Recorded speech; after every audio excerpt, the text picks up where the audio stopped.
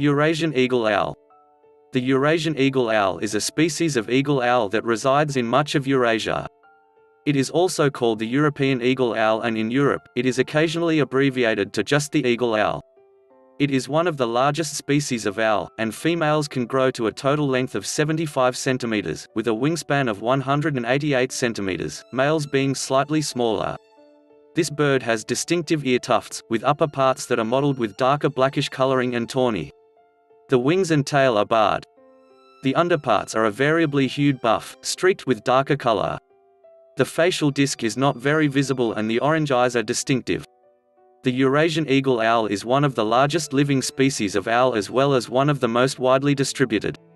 The Eurasian eagle owl is found in many habitats but is mostly a bird of mountain regions, coniferous forests, steppes and other relatively remote places, and have occasionally been found near farmland and in park-like settings within European cities. In 2020, a brood of three chicks were raised by their mother on a large, well-foliaged planter on an apartment window in the city centre of Geel, Belgium. It is a mostly nocturnal predator, hunting for a range of different prey species, predominantly small mammals but also birds of varying sizes, reptiles, amphibians, fish, large insects and other assorted invertebrates. It typically breeds on cliff ledges, in gullies, among rocks or in other concealed locations.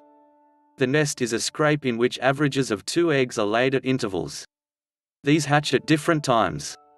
The female incubates the eggs and broods the young, and the male provides food for her and, when they hatch, for the nestlings as well.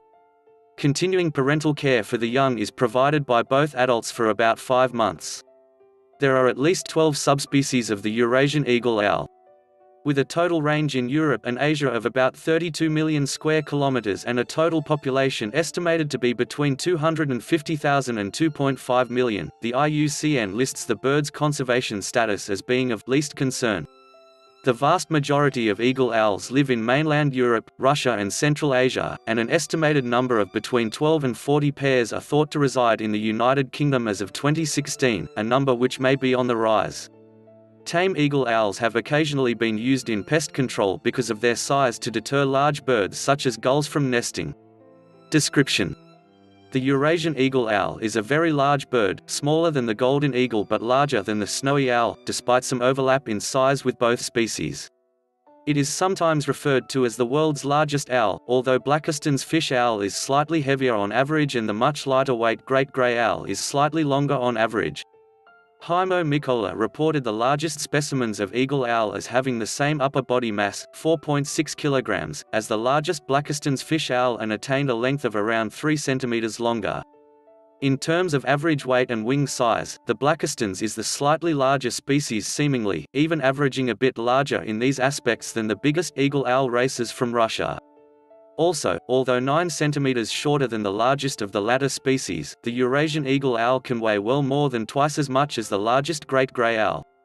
The Eurasian eagle owl typically has a wingspan of 131 to 188 cm, with the largest specimens possibly attaining 200 cm.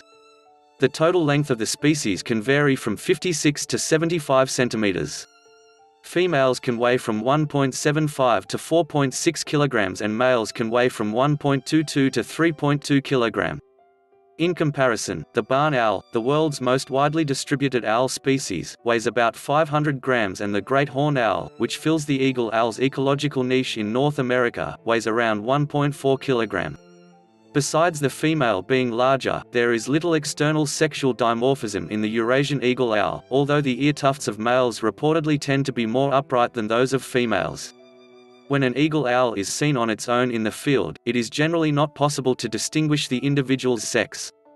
Gender determination by size is possible via in-hand measurements. Reportedly, in some populations the female may be slightly darker on average than the male. The plumage coloration across at least 13 accepted subspecies can be highly variable. The upper parts may be brown-black to tawny buff to pale creamy gray, typically showing dense freckling on the forehead and crown, stripes on the nape, sides and back of the neck, and dark splotches on the pale ground color of the back, mantle and scapulars. A narrow buff band, freckled with brown or buff, often runs up from the base of the bill, above the inner part of the eye and along the inner edge of the black-brown ear tufts. The rump and upper tail coverts are delicately patterned with dark vermiculations and fine wavy barring, the extent of which varies with subspecies. The underwing coverts and undertail coverts are similar but tend to be more strongly barred in brownish-black. The primaries and secondaries are brown with broad dark brown bars and dark brown tips, and grey or buff irregular lines. A complete molt takes place each year between July and December. The facial disc is tawny buff, speckled with black-brown, so densely on the outer edge of the disc as to form a frame around the face. The chin and throat are white with a brownish central streak. The feathers of the upper breast generally have brownish-black centers and reddish-brown edges except for the central ones which have white edges. The chin and throat may appear white continuing down the center of the upper breast. The lower breast and belly feathers are creamy brown to tawny buff to off-white with a variable amount of fine dark wavy barring, on a tawny buff ground color. The legs and feet are likewise marked on a buff ground color but more faintly. The tail is tawny buff, mottled dark gray-brown with about six black-brown bars. The bill and feet are black. The iris is most often orange but is fairly variable. In some European birds, the iris is a bright reddish, blood-orange color but then in subspecies found in arid, desert-like habitats, the iris can range into an orange-yellow color.